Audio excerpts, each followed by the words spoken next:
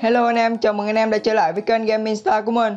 Ok anh em thì ở cái video ngày hôm nay thì mình sẽ đi review Alvaro Morata Một tiền đạo đang chơi bóng trong màu áo của Juventus. Con này thì nó nằm ở phần mở Bad Nation Heroes nha anh em. Hôm qua thì mình mở ra được con này. Anh em đã mở ra được con gì rồi thì hãy để lại comment của mình ở phía bên dưới nha.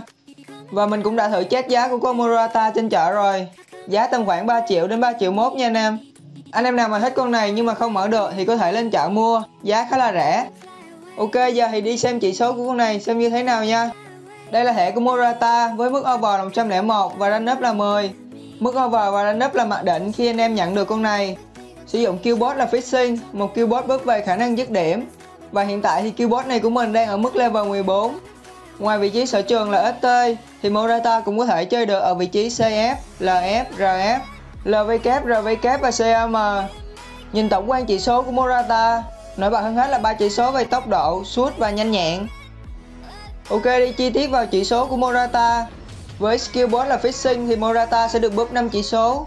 Đó là những chỉ số về khả năng tăng tốc là 121, dứt điểm là 140, chỉ số về dứt điểm rất là cao. Sút bóng kỹ thuật là 123, kiểm soát bóng là 132 và nhanh nhẹn là 127. Ngoài ra thì chỉ số về lực sút và chọn vị trí cũng rất đáng chú ý với hai chỉ số lần lượt là 135 và 129. Bên cạnh đó thì chỉ số về đánh đầu là 125. Còn về thể hình thì Morata cao 1m9 và cân nặng là 84kg. Một thể hình khá là đẹp đối với một ST. Sử dụng skill là Ronaldo chớp. Bên cạnh đó thì còn được bóp thêm một cái chỉ số ẩn, đó là rê bóng tốc độ. Nhìn chung thì bộ chỉ số của Morata cũng khá là cao. Nhưng mà không biết trong in game sẽ chơi như thế nào thôi. Ok, giờ thì sẽ vào những trận đấu với SA và Hit to Hit để xem Morata có chơi đúng với cái bộ chỉ số này hay không nha. Ok, let's go.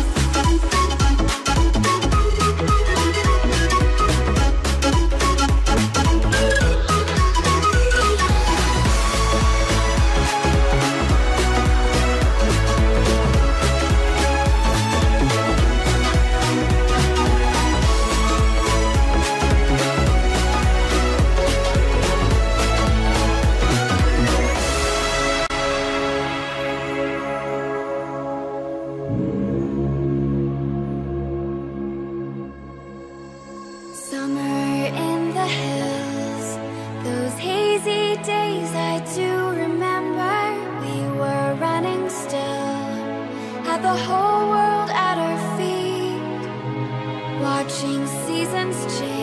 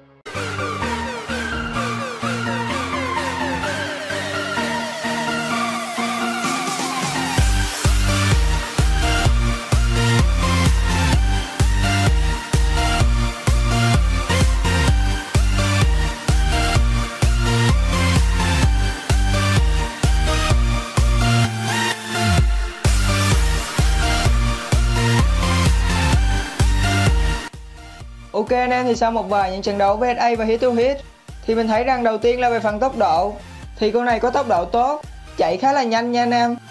Điểm mạnh ở con này nằm ở khoảng đánh đầu.